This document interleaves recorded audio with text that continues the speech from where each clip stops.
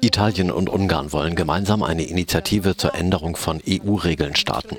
Das kündigte der neue italienische Innenminister Matteo Salvini an. Bei einer Veranstaltung für den regionalen Wahlkampf seiner rechtspopulistischen Lega-Partei in Fiumicino bei Rom erklärte Salvini,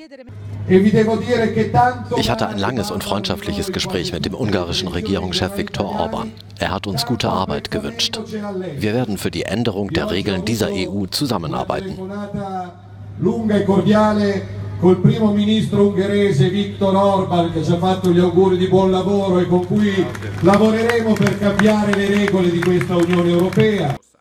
Orban gilt als Vorreiter der Einwanderungsgegner in der EU. Bereits im vergangenen Sommer hatte Orban den damaligen italienischen Regierungschef Paolo Gentiloni aufgefordert, Häfen in Italien zu schließen, um die Ankünfte von Migranten zu reduzieren. Gentiloni hatte den Vorschlag brüsk zurückgewiesen.